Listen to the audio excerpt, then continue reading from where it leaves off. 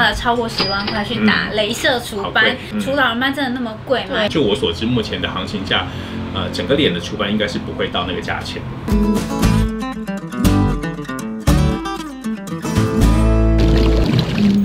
这个医师不错哦，我们今天美医出任务，要不要来找他？这是我们要做什么？我看网络上好像没什么人在讲老人斑的议题，不然我们就找年轻的医师来讲老人斑的议题，好像可以哦。OK，嗯，美医出任务，Go！今天的美医出任务，我们来到哪里呢？是的，我们今天来到了悦美学诊所，在我们身旁的就是黄正杰医师，让我们欢迎他。大家好，我是皮肤科医师黄正杰。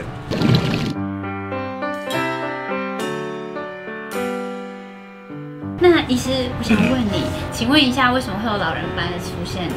那顾名思义嘛，老人斑的话就是老化。虽然是简单讲说是老化，但是还是会有分体质跟保养的因素啊。比如说有两个人，大家都不保养，可是呢，有一个人他在很年轻的时候可能就开始长老人斑。那好好保养，那其实你长得还是可以比较少。所以这两个因素都有。那如果就是长了老人斑，我们有办法用一些，比如说化妆品盖掉，比如说遮瑕膏来遮老人斑吗？嗯，因为老人斑其实呢，它有黑色素含量比较高，它看起来颜色比较黑，也会有黑色素含量比较低。比较浅咖啡色的那，当然颜色深的就比较不好遮。那另外，其实老人斑呢，它到后期的时候呢，它不是只有色素的问题，它还有角化的问题。当它变角化的问题的时候，它就会变成是凸的。那我想凸的它，对对，就变，甚至你外观就可以看到它是一颗一颗。那如果是这样的话，当然就是更不好遮。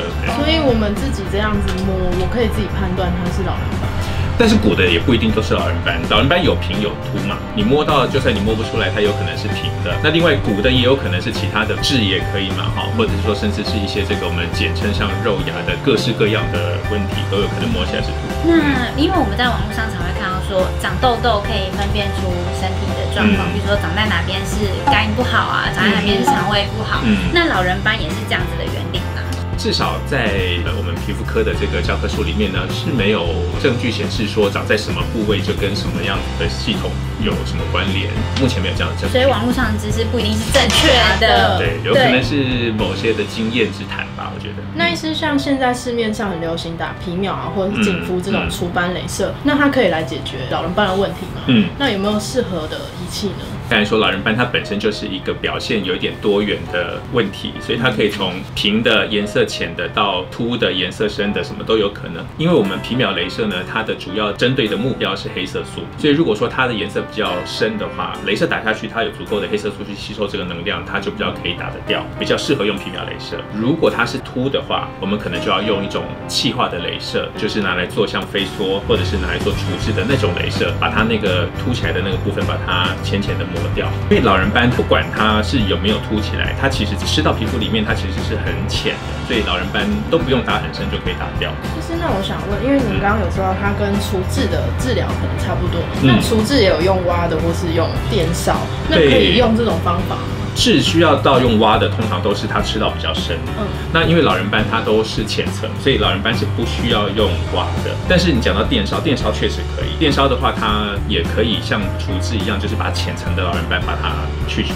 那医师如果是用电烧或是用镭射的话，就是这两种方式，医生会比较推荐用哪一种？因为电烧或者是像刚才讲气化式的镭射，它都是有伤口的、有恢复期的，所以除非它是用皮秒除不掉的老人斑，啊，譬如说它是颜色浅的，或者是它真的是凸起来的、角化明显的，那我可能会选择电烧或者气化镭射，要不然我们就用皮秒就好。那呃，像之前我们有就是看到新闻报道说，郭台铭对郭台铭他花了超过十万块去打镭射除斑，对那。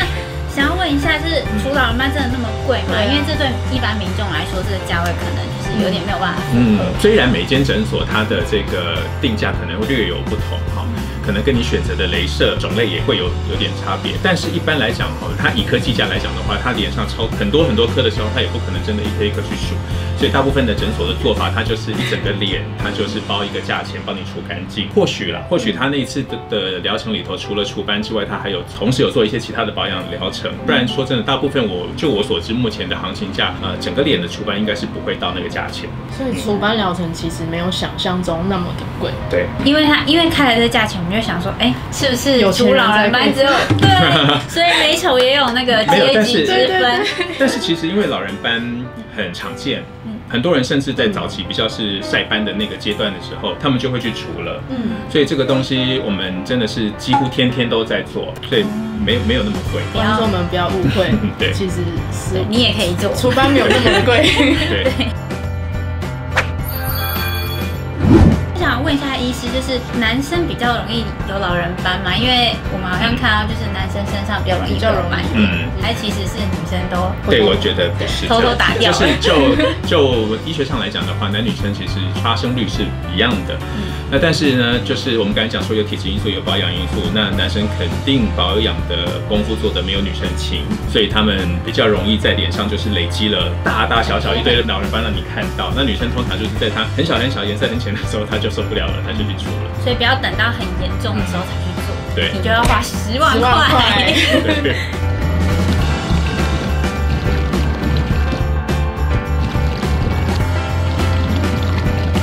那术后要特别注意什么事情，它才不会容易复发？如果是有恢复期的镭射，像我们刚才讲的气化式的镭射的话，那它术后可能就会需要好好的擦药膏啦、贴人工皮啦，去照顾它的伤口。皮秒的话，照顾起来相对简单，但是这两种镭射，如果你没有好好照顾，它都有反黑的风险。尤其是在，比如说你本来就是肤色比较深的，我们讲欧巴 day 的那种人，那或者是你的工作形态常常是需要在户外去晒到太阳的那种人的话，你又没有好好照顾伤口。如果说你是这个越不好好照顾，或者是肤色越深的那种，他可能会需要半年、一年的时间才褪成肤色都有。所以就是说我可能今天去打镭射，但是我没有在做那些什么防晒啊，我出去就给你照晒太阳，所以我可能要。黑个半年，我才会恢复到。对你那一块看起来就是看起来还是就有咖啡色、淡咖啡色这样子。那想要问一下医师，就是譬如说像我们如果去刮除汗腺，都会有代偿性出汗的问题。嗯。那如果我们把就是脸上的斑点打掉，那譬如说它会不会长在手手上啊、屁股啊、背上？不会不会不会，就是代偿性出汗会有，因为你需要保持你人体温度的恒定。但是斑这个东西呢，它就是几乎都是长在我们暴露在外面的地方，就是像手。跟脸也晒到太阳的地方，因为呢老老人斑很容易除，所以它其实如果真的除掉那颗大概就是掉。可是你是一个不喜欢保养的人，那你就是整个脸都有可能会再长新的。听到一个重点就是保养很重要，对。然后万一你不小心发出一点点很像斑的东西，要即刻把它除掉。没错，你越累积就要花越多钱、越多时间才能把它除干净。那今天听了那么多，就是有大概了解说老人斑的成因跟它的解决方法，还有一些术后保养知识，那大家都有学会了吗？嗯，那今天要谢谢医师接受我们的专访，谢谢。医师，谢谢，拜拜。我带我阿妈来喝了，阿妈好像阿妈应该会比较喜欢对。帅气的医师，真的。可以，但是现在是夏天，所以就是要记得。对，要做好。那大家也要记得防晒，避免老了之后长很多的老人斑。